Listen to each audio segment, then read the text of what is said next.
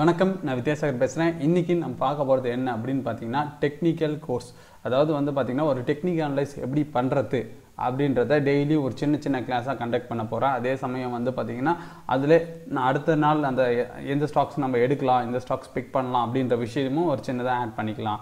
So இதை நம்ம வந்து ஒரு பாயிண்ட் ஆஃப் வியூ எது எந்த பாயிண்ட் ஆஃப் வியூவில் எடுக்க போகிறோம் அப்படின்னு பார்த்தீங்கன்னா ஒரு டெக்னிக்கல் அனலைஸை பேசிக்லேருந்து டாப் லெவல் வரைக்கும் எப்படி கொண்டு போகிறது எப்படி ஸ்டெப் பை ஸ்டெப்பாக கொண்டு போகிறது அதை பற்றி தான் நம்ம பார்க்க போகிறோம் இன்றைக்கி மொதல் வீடியோ மொதல் நாள் கிளாஸு ஜூமில் வந்து கண்டக்ட் பண்ணியிருக்கேன். டெய்லி ஜூமில் தான் கண்டக்ட் பண்ணுவேன். அதுக்கப்புறம் தான் அதை வந்து நான் யூடியூபுக்கு ட்ரான்ஸ்ஃபர் பண்ணுவேன். ஜூம் அதாவது நம்ம குரூப்பில் லிங்க் இருக்கும். நீங்கள் எப்போ எப்போனாலும் வந்து நம்ம குரூப்பில் ஜாயின் பண்ணிக்கிட்டு அந்த லிங்க் யூஸ் பண்ணலாம். டெய்லி ஒம்பது மணிக்கு நான் வந்து கிளாஸ் எடுப்பேன். ஃப்ரீ கிளாஸ் தான். யார் வேணாலும் வந்து ஜாயின் பண்ணலாம். லிங்க்கு நம்ம குரூப்பில் இருக்குது டெய்லி ஒரு புது லிங்க் வரும். ஒரே லிங்க் யூஸ் பண்ணாதீங்க. டெய்லி ஒரு புது லிங்க் வரும். டெய்லி அந்த புது லிங்கை கனெக்ட் பண்ணி ஃபார்ட்டி மினிட்ஸ் கிளாஸு அதை நான் வந்து சுருக்கி இங்கே வந்து ஃபிஃப்டீன் மினிட்ஸாக வந்து வீடியோவாக நான் போடுவேன். நீங்கள் வந்து அங்கே வந்தீங்க அப்படின்னா டவுட்ஸ் எதுவாக இருந்தாலும் நீங்கள் அங்கே கேட்டுக்கலாம்.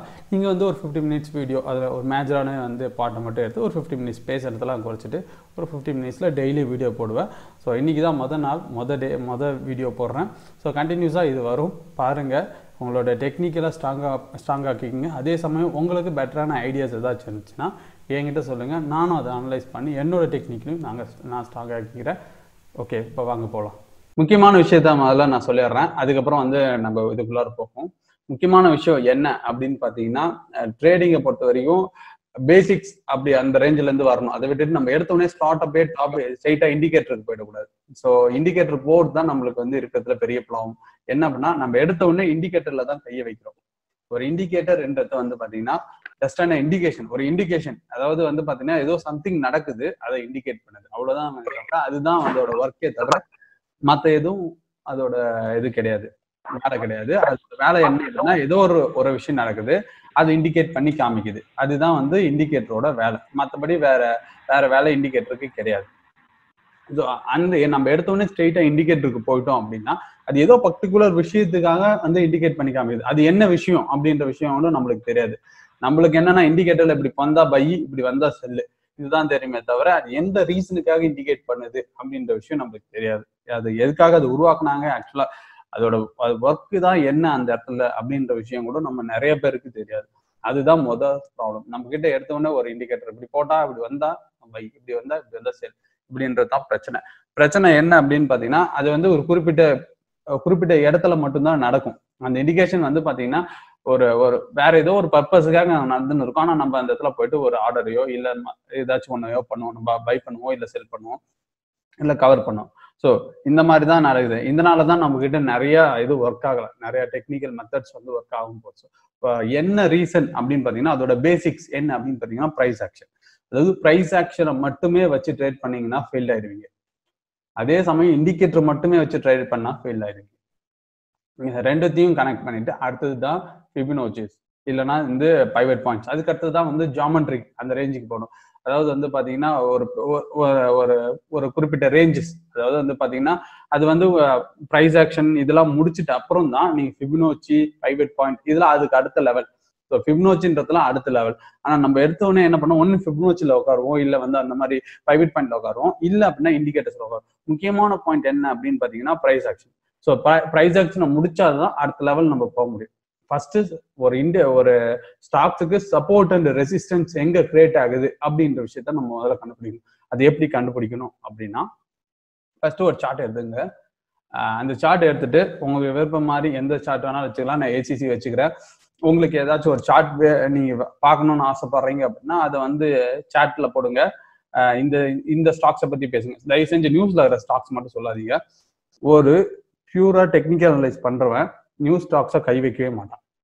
ஏன்னா நியூஸ் ஸ்டாக்ஸ் வந்து பார்த்தீங்கன்னா நியூஸுக்கு ஏற்ற மாதிரி தான் ரியாக்ட் பண்ணுமே தவிர அதில் எந்த ஒரு பேட்டர்ன்ஸையோ இல்லை எந்த ஒரு மூமெண்ட்டத்தையோ நீங்கள் கரெக்டாக கேப்சர் பண்ணணும் ஒன்று ஒரு நாளைக்கு எட்டு பர்சன்டேஜ் ஏறுவான் இல்லை எட்டு பர்சன்டேஜ் ஏறுவான் மறுநாள் பார்த்தீங்கன்னா ஒன்றரை பர்சன்டேஜ் ஏறுவான். இந்த மாதிரி தான் இருக்கும். அதுக்கு ஒரு சீக்வன்ஸே இருக்காத ஒரு பாயிண்டாக இருக்கும். நீங்கள் ஒரு டெக்னிக்கல் ட்ரேடராக ஆகணும்னு நினைக்கிறீங்க அப்படின்னா இன்னைக்கு ரிசல்ட்ஸு நியூஸ் இந்த ரெண்டுமே இருக்கக்கூடிய ஸ்டாக்ஸை நீங்கள் கை வைக்கக்கூடாது. அப்படி இருந்தா தான் ஒரு டெக்னிக்கல் ட்ரேடர் அப்படின்றத நீங்க சொல்லிக்க முடியும். அப்படி இல்லை அப்படின்னா நீங்க அந்த வார்த்தையை யூஸ் பண்ணவே கூடாது. இல்ல நீங்க ஒரு ட்ரேடர்ன்றதை யூஸ் பண்ணக்கூடாது. அந்த இதில் ஏன்னா நீங்க அந்த இதில் பாயிண்ட் இன்வெஸ்டரா மாறுறீங்க. நியூஸ் பேஸ் பண்ணி பண்றீங்கன்னா உங்களுக்கு ஒரு இன்வெஸ்டர் இன்வெஸ்டர்னா மினிமம் மூணு மாசமாச்சு நீங்க வந்து ஹோல்ட் பண்ணணும். மினிமம் சொல்றேன் ஒன் இயர் ஆக்சுவலா ரியல் இன்வெஸ்ட்மெண்ட் பேர் ரியல் இன்வெஸ்ட்மெண்ட் பேர் வரதுக்கு ஒரு வருஷம். ஆனா நான் சொல்றது மினிமம் மூணு அந்த மாதிரி விஷயத்தை ஹோல்ட் பண்ணணும். ஆனா அதை விட்டுட்டு நம்ம வந்து பாத்தீங்கன்னா அது இன்ட்ராடேல ட்ரை பண்றோம். ஸோ அதுதான் பெரிய பிரச்சனை. இந்த பாயிண்ட்டை நல்லா தெளிவா எடுத்துங்க. நீங்க ஒரு ட்ரேடரா நீங்க ஒரு இன்வெஸ்டரா அப்படின்ற விஷயத்தை நீங்க எடுத்துக்கணும். ரெண்டாவது டாப்ல இருக்கக்கூடிய ஸ்டாக்ஸை மட்டும்தான் ட்ரேட் பண்ணணும். மிச்சம் இருக்க ஸ்டாக்ஸ் எல்லாம் ட்ரேட் பண்ணக்கூடாது. ஏன்னா அதெல்லாம் நியூ ஸ்டாக்ஸ் அந்த நியூ ஸ்டாக்ஸ் எல்லாம் நம்மளுக்கு எதுவுமே செட் ஆகாது. ஏன்னா ஆல்ரெடி இன்வெஸ்டர்ஸ் அதுக்குள்ள வந்திருப்பான். அதை மூவ் பண்ணி கொண்டு போயின்னு இருப்பான். அந்த இடத்துல வால்யூம் வந்து சடனா ரைஸ் ஆயிருக்கும். அந்த அதை அவங்களால கரெக்டாக கண்டுபிடிக்க முடியாது ப்ரிடிக் பண்ண முடியாது. நீங்க நியூஸை ஃபாலோ பண்ணணும். அந்த கம்பெனி என்ன பண்ணுதுன்றதை ஃபாலோ பண்ணணும். ஸோ இவ்வளோ விஷயங்கள் அப்புறம் தான் நீங்க அந்த மாதிரி ஸ்டாக்ஸ்ல கை வைக்கணும் அப்போ நம்ம என்னன்னா நல்ல லிக்விடிட்டி இருக்க ஸ்டாக்ஸா வாலட்டில் வால்டிலிட்டி இல்லாத ஸ்டாக்ஸா நார்மல் ஸ்டாக்ஸா நீங்க கேப்சர் பண்ணணும். அதுக்கு நான் லோ வால்டாலிட்டி லிஸ்ட்னு ஒன்று சொல்லியிருக்கேன். ஸோ லோ வால்டாலிட்டி லிஸ்ட்ல இருந்து தான் நான் ஃபர்ஸ்ட் நான் எடுக்க போறேன்.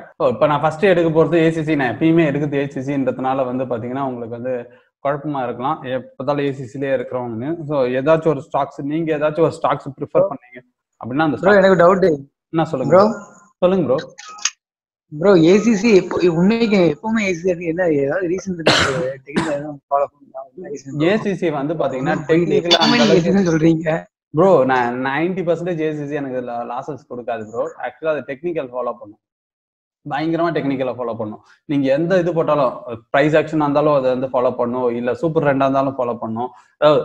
ப்ரைஸ் ஆக்ஷன்ஸ் இண்டிகேட்டர்ஸ் ஃபிப்னோச்சிஸ் எல்லாத்தையுமே ஏசிசி ஃபாலோ பண்ணும்.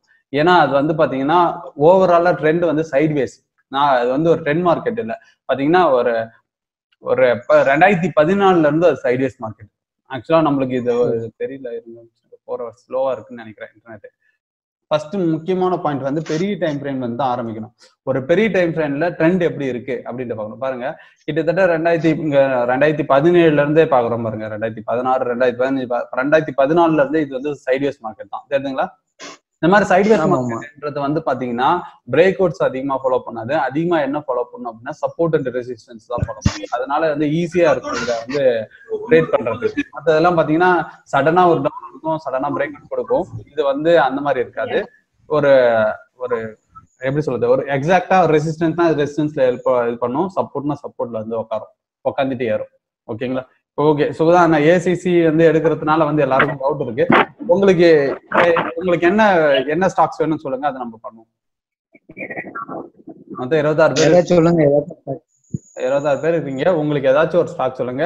தயவு செஞ்சு நியூ ஸ்டாக் சொல்லாதீங்க. எஸ் பேங்க் இந்த டாடா மோட்டார்ஸ் எல்லாம் போகவே போகாதீங்க. ஸ்டாக்ஸே கிடையாது. உண்மையா சொல்ல போனா.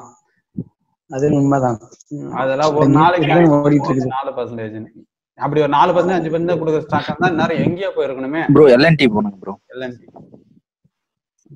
அந்த மாதிரி ஒரு ஒரு குறைஞ்சது எல்என்டி போடுங்க ப்ரோ. என்னது ப்ரோ சொல்லுங்க. L and T L and T bro.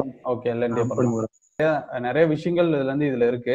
எப்படின்னா இந்த விஷயத்த வந்து ஒரு ஒரே நாள்ல வந்து என்னால எல்லா விஷயத்தையும் சொல்லி கொடுக்க முடியாது. ஒவ்வொரு நாளும் நீங்க இதை பண்ணி அதை அடுத்தது கூட மேட்ச் பண்ணும் அதாவது இது ஒரு செயின் இது. ஆக்சுவலாக வந்து பார்த்தீங்கன்னா ஒவ்வொரு செயினும் நீ லிங்க் பண்ணாதான் உங்களுக்கு வந்து கரெக்டான வந்து ரிசல்ட்ஸ் கொடுக்கும். நீங்க செயினை மிஸ் பண்ணிட்டீங்க அப்படின்னா ரிசல்ட்ஸ் கொடுக்காது. ஏதாச்சும் ஒரு செயினை மிஸ் பண்ணிட்டோம் அப்படின்னா ரிசல்ட் கொடுக்கும் இப்போ வந்து பார்த்தீங்கன்னா இல்லைன்ட்டு நீங்க ஒரு டெக்னிக்கல் அனலைஸ் எடுக்கிறீங்க அப்படின்னா ஃபர்ஸ்ட் எந்த பாயிண்ட்ல இருக்குன்னு ஃபர்ஸ்ட் கண்டுபிடிக்கணும். ரெண்டாவது அது எந்த பாயிண்ட்ல இப்போ இருக்கிறதுனால எந்த இண்டிகேட்டர் இதுல ஒர்க் ஆகும்? அதாவது எந்த மெத்தட் இதுல ஒர்க் ஆகும்? ஸ்கேல்பிங் ஒர்க் ஆகுமா? இல்ல டே ட்ரேடிங் மெத்தட் ஒர்க் ஆகுமா? அப்படின்றத கண்டுபிடிக்கணும். அதுக்கப்புறம் தான் அதுல ஃபிபனோச்சி சப்போர்ட் பார்த்து நீங்க வரையணும். அதை விட்டு நம்ம எல்லாத்துலயுமே வரைஞ்சிட்டோம் அப்படின்னா ஒர்க் ஆகுது. இப்போ தியாகராஜன் ப்ரோ சொன்னதே கூட எடுத்துங்க. பதினஞ்சு நிமிஷத்தோட ஹை அண்ட் லோஸ் வச்சு நீங்க ட்ரை பண்றீங்க அப்படின்னா அந்த மாதிரி பண்ணியிருந்தோன்னா இந்நேரம் அவர் எங்கேயோ போயிருந்திருப்பாரு. டெய்லியும் அடுத்த ஒரு பத்து நாள்ல ட்ரேட் பண்ணாலே எங்கேயோ போயிருந்திருப்பாரு. ஆனா ஏன் இன்னும் கிளாஸ் சொல்லி கொடுக்குறாருன்னா அதை கண்டினியூஸா அவரால் பண்ண முடியல. ஏன்னா அதை பண்ண முடியாது. ஒரு மெத்தட் என்னைக்குமே கன்சிஸ்டண்டா ப்ராஃபிட் கொடுக்கவே கொடுக்காது. அது ஒரு சாரி கண்டினியூஸா ப்ராஃபிட் கொடுக்காது. கொடுக்கும் கண்டினியூஸா ப்ராஃபிட் கொடுக்காது. ஒவ்வொரு பாயிண்ட்ல ஒவ்வொரு ஒவ்வொரு விதமா ஆக்ட் பண்ணும். அப்போ அது எந்த விதமா ஆக்ட் பண்ணது நீங்க கண்டுபிடிச்சிட்டீங்க அப்படின்னா அது எப்படி போகும் அப்படின்றது ஈஸியா கண்டுபிடிச்சலாம் ஓகே பேசுறது நெட்டுவோம் எல்என்டிக்கு போவோம். இப்போ எல்என்டி வந்து பாத்தீங்கன்னா ஒரு ஃபோர் ஹவர் சாட் வச்சுங்க. ஃபோர் ஹவர் சாட் வச்சுக்கிட்டு முடிஞ்ச வரைக்கும் உங்களால எவ்வளவு முடியுமோ அவ்வளவு தூரத்துக்கு ஜூம் பண்ணுங்க. ஜூம் பண்ணும்போது உங்களுக்கு தெளிவான வியூ கிடைக்கும். இதை பார்க்கும்போது உங்களுக்கு என்ன தோணுது? எல்என்டி கண்டினியூஸா மேலே ஏறுதா? அப் ட்ரெண்ட் ஆ அப் ட்ரெண்ட் கண்டினியூஸா அப் ட்ரெண்ட் அடிக்குது L and T so L and T கண்டினியூஸாக அப் ட்ரெண்ட் அடிக்குது. அப்போ வந்து இது பாசிட்டிவ் அதாவது ஒவ்வொரு டாப்ல இருந்து செல்லிங் பார்க்கணும் பாட்டத்துல இருந்து பையிங் பார்க்கணும். அதாவது சைடு நல்லா கண்டினியூஸா ஏறுது. மேல ஏறி ஏறி ஏறி சைடு ஜிக்ஸாக்கா தான் இறங்குது. அப்போ ஒரு டாப் உங்களுக்கு வேணும் ஒரு பாட்டம் உங்களுக்கு வேணும். அப்பதான் வந்து பாத்தீங்கன்னா நீங்க சப்போர்ட் அண்ட் ரெசிஸ்டன்ஸ் அதாவது இப்ப சொல்லுவாங்களா double top triple top first அது எந்த பாயிண்ட்ல இருக்கு? ஓவராலா ட்ரெண்ட் அப்படின்னு பார்ப்போம். டபுள் டாப்பா ட்ரிபிள் டாப்பா இல்ல வந்து பாத்தீங்கன்னா டாப்புக்கு நியரஸ்டா இருக்கா? இல்ல டாப்புக்கு முன்னாடி டாப்ல இருந்து பாட்டத்துக்கு வந்துன்னு இருக்கா? இந்த மாதிரி விஷயத்தெல்லாம் ஃபர்ஸ்ட் நம்ம கண்டுபிடிக்கணும். ஓவரால் ட்ரெண்ட் பாசிட்டிவ் இப்போ வந்து டாப்ல இருக்கா? ஓகே டாப்ல இருந்து கீழே இறங்கி இருக்கு நடுவுல எங்கேயும் கிடையாது. இப்போ ஒவ்வொரு டாப்பும் வச்சிருக்கு. இந்த விஷயத்தை நம்ம முதல்ல எப்படி கண்டுபிடிக்கணும் அப்படின்னா ஃபர்ஸ்ட் ஒரு ரெசிஸ்டன்ஸ் எக்ஸாக்டா ரெசிஸ்டன்ஸா ஒர்க் ஆகுதா அப்படின்னா ஃபர்ஸ்ட் அந்த இடத்துல ஒரு ரெசிஸ்டன்ஸ் கிரியேட் பண்ணணும். அதாவது அது எப்படி ஒர்க் ஆகும்னா ஃபர்ஸ்ட் ஒரு ரெசிஸ்டன்ஸ் அந்த இடத்துல கிரியேட் ஆகியிருந்தா தான் அடுத்த தடவை வரும்போது அது ரெசிஸ்டன்ஸ் சொல்ல முடியும். இல்ல அப்படின்னா அது ரெசிஸ்டன்ஸ் சொல்ல முடியாது. இதுல இருந்து எப்போ மார்க்கெட்டோட ஒவ்வொரு ஹை அதாவது ஹை வர வரைக்கும் வெயிட் பண்ணுங்க. அது ஏன்னா நம்ம கிட்ட குறைஞ்சது வந்து பாத்தீங்கன்னா லோ வால்டாலிட்டி ஐம்பது ஸ்டாக்ஸ் இருக்கு.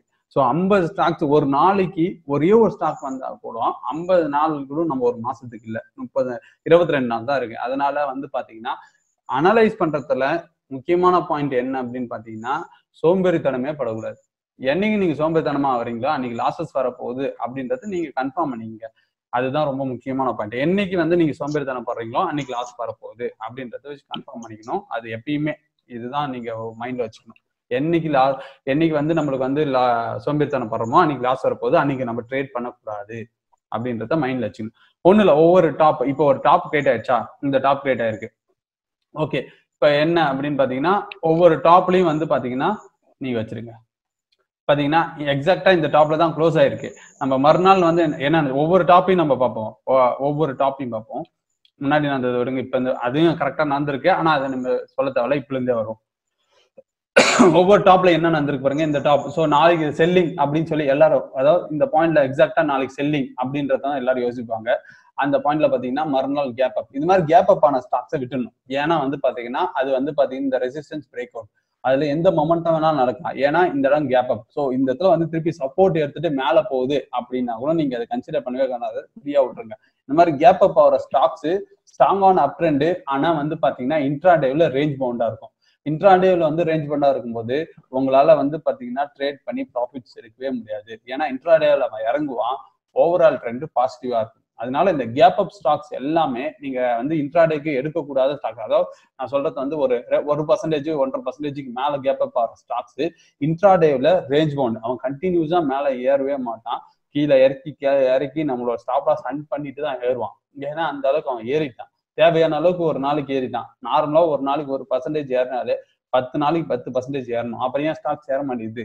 அப்படின்னா ஒவ்வொரு பாயிண்ட்ல ரிட்ரேஸ்மெண்ட் கொடுத்தது பையர் செல்லர்ஸ் ஒரு ரெண்டு பேருமே சம பண்ணணும் இன்ட்ராடேவ்ல அப்பதான் வந்து அடுத்த நாளைக்கு வந்து கொண்டு போக முடியும். வெறும் பையர்ஸ் மட்டுமே இருந்துச்சு அப்படின்னா ஒண்ணுமே பண்ண முடியாது. ஸ்டாக்ஸ் கண்டினியூஸா அப்பர் அப்பர் பீஸ் அடிச்சுனே போயிடும். ஸோ பையர் செல்லர்ஸ் ஏன்னா நம்ம இன்ட்ராடேல வந்துட்டு வெளில போறவங்க. நம்ம ஸ்டாக் ஹோல்ட் பண்றவங்க கிடையாது. அப்போ நம்ம ரெண்டு பேரையும் பேலன்ஸ் பண்ணா மட்டுமே அன்னைக்கு க்ளோஸ் பண்ண முடியும். அப்போ பையர் செல்லர்ஸ் ரெண்டு பேர் இருந்தாலும் மார்க்கெட்ல கீழே குறைச்சி தேவையான அளவுக்கு இன்வெஸ்டருக்கு அவன் ஸ்டாக்ஸ் கொடுத்துட்டு தான் மூவ் பண்ணுவான். நம்ம வந்து மார்க்கெட்டை மூவ் பண்ணல. ஆல்ரெடி மார்க்கெட் மூவ் ஆயினருக்கு நம்ம நடுவுல வந்துட்டு போறோம். அவ்வளவுதான். பெரிய லெவல் மொமெண்டம் நடக்கும்போது நடுவுல வந்துட்டு போறோம். நம்மளுக்குள்ளாரே அடிச்சுக்கிறோமே தவிர எதுவுமே வந்து பாத்தீங்கன்னா வெளியில நடக்கல. எல்லாமே நம்மளுக்குள்ளாரே அடிச்சுக்கிறது ஸோ ஒவ்வொரு பிரேக் அவுட்ஸ் அதாவது கேப் அப்ஸ் இருக்கிறது எல்லாமே ஃப்ரீ அவுட்ருங்க பிரேக் அவுட்ல கேப் அப்ஸ் நான் சொல்றது பிரேக் அவுட்ல கேப் அப் இருக்குது. எல்லாத்தையும் ஃப்ரீ அவுட்ருங்க அது நம்மளுக்கு தேவையில்ல. திருப்பி இந்த ஹையை பிரேக் அவுட் பண்ணா மேல போவோமா ஆஹா அந்த மாதிரி பண்ணவே கூடாது. எப்பயுமே ஒரு பிரேக் ஒரு கேப் அப்னா அந்த ஸ்டாக்ஸை ஃப்ரீ விட்டணும் அந்த ஸ்டாக்ஸ்ல ஏதோ ஒரு நியூஸ் இருக்கு. அப்போ அந்த ஸ்டாக்ஸ் நம்ம கைவிக்கூடாது ஒரு டெக்னிக்கல் ட்ரேடர் ஸ்டாக்ஸை ஒன்னு நியூஸுக்கு முன்னாடி கேப்சர் பண்ணி அவன் ட்ரேட் பண்ணி ப்ராஃபிட் எடுக்கணும். நியூஸ் வந்துருச்சு அப்படின்னா அதுக்கப்புறம் அதை டெக்னிக்கல் அனலைஸ் பண்ணணும்னு நினைக்கிறது தப்பு. ஏன்னா அந்த இடத்துல ஹியூஜ் வால்யூம் இருக்கும். வால்யூம் இருக்கும்போது வால்யூம் இருக்க சைடு தான் மூவ் பண்ணும். அதே சமயம் நம்மள எல்லாரையும் காலி பண்ண தான் பார்ப்பாங்க. ஏன்னா நம்ம எல்லாருக்குமே தெரியாது மேலதான் இருப்பது அப்ப அந்த இடத்துல ஈஸியா அவங்களால கீழே கொண்டு வந்தா எல்லாருக்கும் ஸ்டாப்ல சென்ட் பண்ண வச்சு ஈஸியா உங்ககிட்ட இருந்து ஸ்டாக்ஸ் அவங்களால பை பண்ண முடியும். அதனால இந்த இடத்துல காலி பண்ண ட்ரை பண்ணுவாங்க.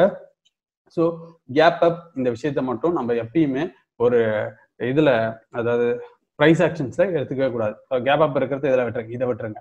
ஸோ நெக்ஸ்ட் வந்து ஹை வச்சிருக்கு. ஸோ இந்த நெக்ஸ்ட் ஹைக்கு போவோம். இந்த நெக்ஸ்ட் ஹை தெரியுதுங்களா என்ன ஆயிடுச்சு பாருங்க கேப் அப் ஸோ அன்னைக்கு ஏறிச்சு. அது மறுநாள் கண்டினியூஸாக ஏறும்னு நினைப்பீங்க பாருங்க. அடிச்சுக்க வச்சுட்டான். ஆனால் கண்டினியூஸாக ஓவரால மேலே தான் ஏறினது அது தெரியுதுங்களா ஸோ அடுத்த கேப்பை இந்த இதில் கையே வைக்கக்கூடாது. ஸோ இப்போ எங்கே கை வைக்கணும் அப்படின்னா இந்த ட்ரெண்ட் இதாவது இந்த பாயிண்ட் இதை நம்ம நம்ம லைவ்லேயே பண்ணோம். ஒரு பதினஞ்சு நாளில் வந்து பார்த்தீங்கன்னா இது ஒர்க் ஆகுதா இல்லையான்னு தெரிஞ்சிடும் உங்களோட உங்களோட அனலைசிங் பாயிண்ட் ஆஃப் வியூவே டிஃப்ரெண்டாக மாறிடும். ஸோ இந்த பாயிண்ட் தான் நம்மளுக்கு ரெசிஸ்டன்ஸு இந்த பாயிண்ட் தான் நம்மளுக்கு சப்போர்ட் நம்மளுக்கு ஒரு ஹை அண்ட் லோஸ் கிடைச்சிச்சு. ரிட்டர்ன் இந்த பாயிண்ட்டுக்கு வரும்போது பை பண்ணணும். ரிட்டர்ன் இந்த பாயிண்ட்டுக்கு போகும்போது செல் பண்ணணும். இதுதான் கான்செப்ட் மற்றபடி ஒரு ஒரு பெரிய கான்செப்டே கிடையாது. இப்போ நெக்ஸ்ட் அடுத்தது. ஸோ இந்த பாயிண்ட் திருப்பி ரிட்டர்ன் வரும்போது இந்த பாயிண்ட்ல பை பண்ணுங்க பாருங்க. ஒன்றும் இல்லை. சிம்பிள் இந்த பாயிண்ட்ல வந்து பை பண்ணீங்கன்னா என்ன ஆகுதுன்றது பாருங்க. ரிட்டர்ன் அன்னைக்கு க்ளோசிங்கே ஆல்மோஸ்ட் வந்து எவ்வளோ இறங்கி இருக்கு அப்படின்றத பார்ப்போம். நைன்டி லோ வந்து பார்த்தீங்கன்னா எயிட்டி ஃபோர் அதாவது வந்து பார்த்தீங்கன்னா சிக்ஸ் ருபீஸ் இறங்கி இருக்கு ரிட்டர்ன் க்ளோசிங் ப்ரைஸ் எங்கே போயிருக்கு அப்படின்னு பார்த்தீங்கன்னா ஒன் டென் அதாவது பதினாலு ரூபாய் ஏறி இருக்கா one is to two ratio return மறுநாள் இதாக இருக்கு திருப்பியும் வந்திருக்கான் திருப்பி அடிச்சிருக்கான் பாருங்க. இந்த இடத்த திருப்பியும் டெஸ்ட் பண்ணியிருக்கான் பாருங்க. தெரியுதுங்களா இந்த இடம் திருப்பி டெஸ்ட் பண்ணியிருக்காங்க. மறுநாள் உட்காந்துரம் பயங்கரமா பிரேக் அவுட் கொடுத்துட்டு மேல போயிட்டு தான் கீழே வந்திருக்கான். நடுவுல எங்கேயுமே வரல. இந்த- சொல்லுங்க ப்ரோ கேக்குதா? ஓகே இந்த பாயிண்ட் அதாவது பாத்தீங்கன்னா சப்போர்ட் ரெசிஸ்டன்ஸ் இந்த பாயிண்ட்ல சப்போர்ட் ரெசிஸ்டன்ஸ் மட்டும் பாருங்க. இந்த பாயிண்ட்ல நம்ம அதுக்கப்புறம் இதுக்கப்புறம் இதுல எங்க பை பண்ணலாம் அப்படின்றத நம்ம அடுத்தது பார்ப்போம். ஃபர்ஸ்ட் இதுதான். ஒவ்வொரு பாயிண்ட்டும் முடிவு பண்ணிங்க ஓகே அடுத்த பத்து நிமிஷம் இருக்கு. இது நான் என்ன கான்செப்ட் சொல்லிட்டேன் அப்படின்றது உங்களுக்கு தெரியுதா? இந்த மாதிரி ஒரு லோ ஒரு ஹை அதாவது இந்த கேப் அப்லாம் நீங்க பண்ணவே கூடாது கேப் டவுன்ஸ்லாம் பண்ணவே கூடாது. ஃபர்ஸ்ட் ஒரு டாப் அண்ட் பாட்டம் இது மாதிரி ஃப்ரீயா இருக்கக்கூடிய டாப் அண்ட் பாட்டம் தாங்க கன்சிடர் பண்ணணும். ஒரு கேப் அப் கேப் டவுன் இந்த எதையுமே நீங்க கன்சிடர் பண்ணக்கூடாது.